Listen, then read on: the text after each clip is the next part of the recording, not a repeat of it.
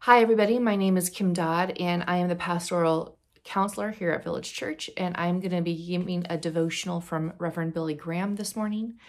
This is the verse, and it's from Psalm 34 18, and it says, The Lord is close to those whose hearts are breaking. He rescues those who are humbly sorry for their sins. It is the custom of many Christians to bow their heads in public places and give thanks for the food that has been placed before them. I have had scores of waiters and waitresses tell me that when we bowed our heads, it was the first time they had ever seen that happen at the restaurant. Millions never pause to give a word of thanks to God for the food provided. Few homes have a moment of thanksgiving at the beginning of a meal or at the end of the day.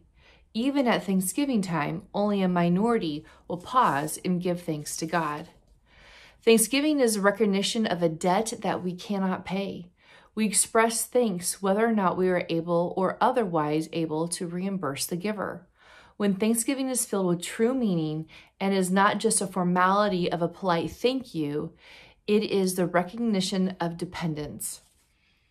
And I would have to add to that that it is such a great reminder for us as we go into the Thanksgiving holiday. I know many people are sharing uh, days of thankfulness and, and gratitude, things that they're they're thankful for. And I'm curious what it would be like to be able to not only have that through November, but continue that into December.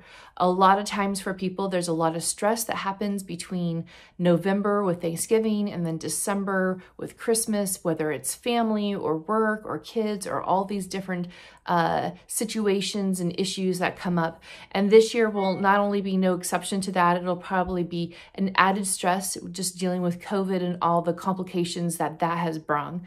I wonder what it would be like if we were able to continue that tradition of Thanksgiving and continue to thank God for the things that we cannot repay Him for and allow that to be our mindset as we go in to December and then into the beginning of 2021. Let me pray.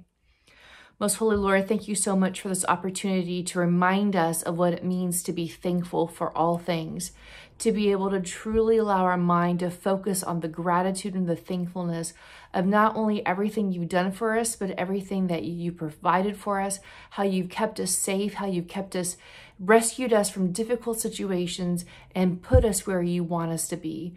Lord God, I pray that each one of us will just ardently follow you with our whole heart. In your most holy name, amen.